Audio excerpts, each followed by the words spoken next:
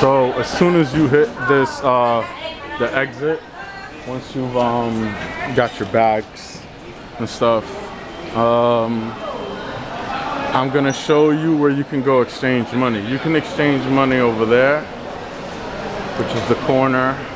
And then there's another corner over here that has banks. So pretty much you can go to either one. I like to look on both sides, just check what uh, the exchange rates are for both sides and just compare them real quick. Doesn't really take me too much time. And then whoever has the best rate, I'll just pick them. And that's where I get my money from. Or at least my uh, my first pickup of money, pretty much. Because I'll exchange some money uh, wherever I go. Like I'm going to Angeles City now, so I'll exchange some money there. Feel safe there actually with the with the money exchange. In Manila, it's kind of it's kind of sketchy. You can get lower lower rates than you can get here, but um, at the airport, it's pretty fair. So that's pretty cool. Usually, you have to worry about the airport ripping you off. Like, uh, see, the rate there is um 51.90. Haven't checked my phone to see what it is, you know. But another thing is it's early in the morning, so they'll give you the lowest rates right now since it's early. But Yeah, some some of the places are closed. They're doing like a little training there with the police officers on site. So I got some pesos in my pocket already from my last trip. So I might not even exchange money till I get to Angeles.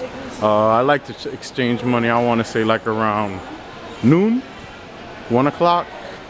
You'll see a change in, in the rates either go up or go down. Check your smartphone uh, to see what the exchange rate actually is. I mean, you can get you can get a nice little jump on the people who are actually exchanging. I mean, the exchange uh, the exchange banks. So just something to keep in mind. I don't think I'm gonna exchange any money right now, but right now the exchange rate looks like it's 52, 51.90, depending on where you go.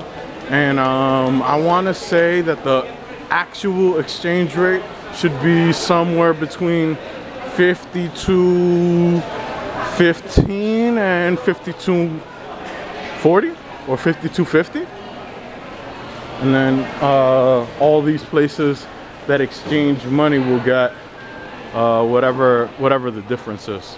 So that's it. This is Aerial Penn signing off. Ooh, and you can go here to get a, a SIM card free SIM card.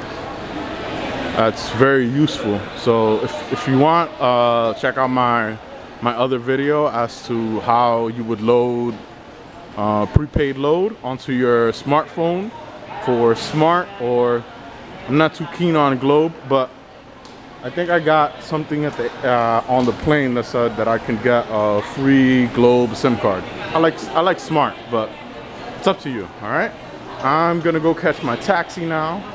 So adios. This is Aerial Penn signing off.